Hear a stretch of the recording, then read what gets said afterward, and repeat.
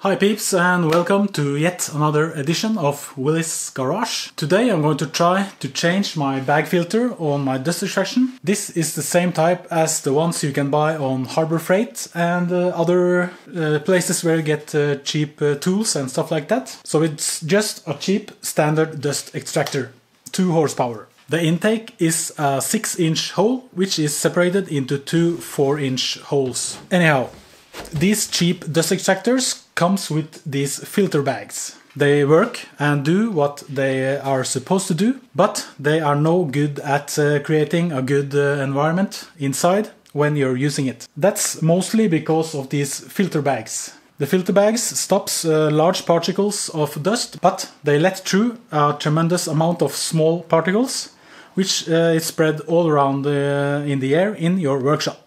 So I try to always use a dust mask like this when I use the dust extractor. The inside of these filter bags, the square centimeter area is not that big because you only have one surface inside. When you only have this one surface area, you cannot filter out the smallest dust particles because you would get too much uh, resistance in the bag or in the filter itself. That's why I have bought myself a cartridge filter for this dust extractor. Inside the cartridge filter, you have these uh, walls which are going uh, zigzag all the way around inside the filter. This gives you a much larger area of filter inside, if you understand me.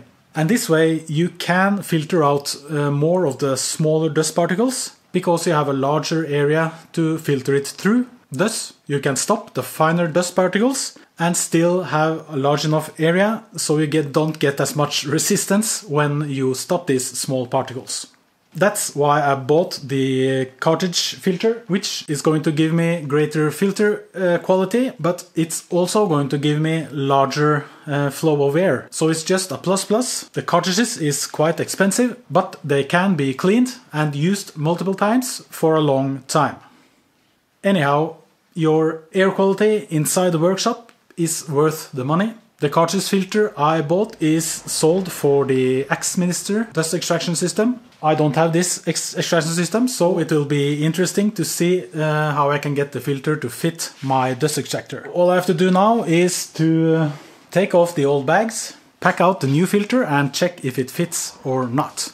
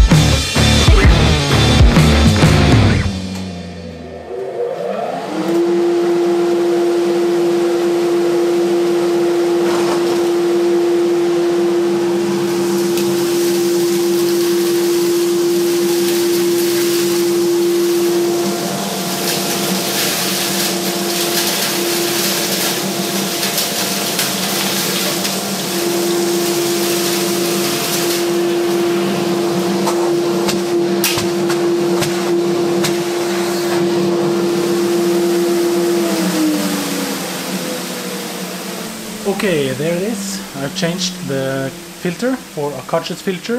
I think the job itself went uh, quite fine and the filter fit uh, perfectly up on top of the uh, dust extractor and now it's in place with these self-cleaning levers which drives some brushes over the filter on the inside so the dust falls down into the bag. At the end of the build you also saw me put a plastic bag inside the filter bag I had uh, on the bottom. That's because a cloth bag will uh, always leak and if I didn't uh, put a plastic bag on the bottom it would leak air and also leak uh, particles into the air which I don't want. That way, by putting a plastic bag down here, all the air has to pass through the new cartridge filter. And also, when I tried out the dust extractor, I noticed clearly that the suction was much better than it was before. I will leave links for this product in the description if you want to check them out. Please like, dislike, subscribe or comment on this video. I will see you on the next one.